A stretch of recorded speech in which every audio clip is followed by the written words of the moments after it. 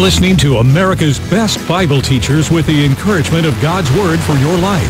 This is KAYH Fayetteville, KAOW Fort Smith, and KAWX More Network clinics shine light into the darkness by introducing abortion-minded women to their babies on ultrasound.